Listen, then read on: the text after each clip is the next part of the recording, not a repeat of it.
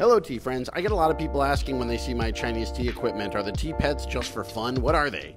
And yeah, they are fun, but they also play a part in the tea making process. Tea pets evolved as part of the Chinese Gongfu tea process because the first steep of tea in the Chinese tea making style is always thrown out. This first steep is called the wash, and I'll show you why right after we give a little to Snack and then to his friend Lucky.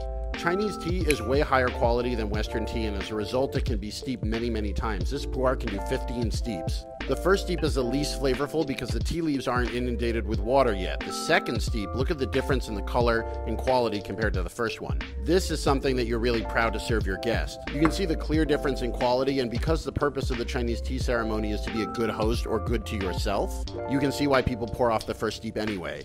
You also get to name your own tea pets, like Snick, Maurice, Pendor, Xander, and Lucky. I have tea pets that come with this tea table and others on my site. Link is in my bio.